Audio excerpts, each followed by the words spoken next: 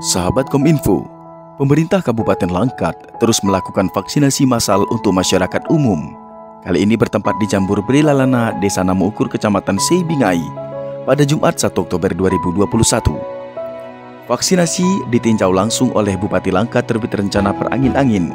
Di kesempatan itu, Bupati mengajak masyarakat melakukan vaksin dosis pertama dan kedua.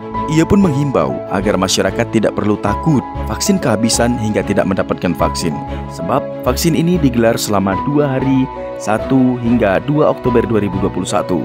Selanjutnya pun akan terus dijadwalkan pelaksanaan vaksinasi oleh Dinas Kesehatan melalui seluruh puskesmas yang ada di Kabupaten Langkat.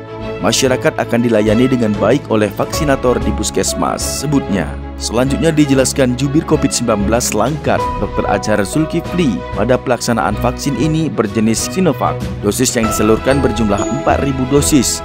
Perharinya ditargetkan 2.000 dosis yang disuntik. Vaksinator yang bertugas dalam acara vaksinasi massal di Jambur Brelalana, Namu Ukur dari Puskesmas Namu Ukur, Kecamatan Seibingei, Puskesmas Namu Trasi, Kecamatan Seibingei, Puskesmas Bahoro, Puskesmas Bukit Lawang, Puskesmas Tanjung Langka, Kecamatan Salapian, dan Puskesmas Marike, Kecamatan Kotambaru.